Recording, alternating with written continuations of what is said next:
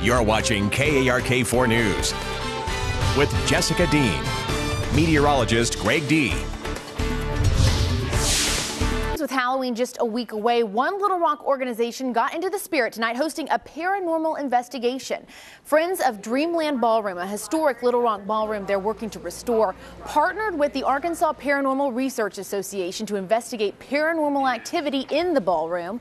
The public was invited to the event, watching as experts use digital recorders and video to try and capture any paranormal activity. It was employees working in the building who first reported they thought it was haunted.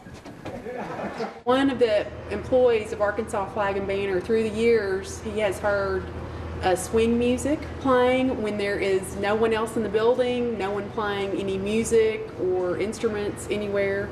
There will be another event just like this one at the ballroom next Saturday. Funds raised will go toward music education programs put together by Friends of Dreamland Ballroom.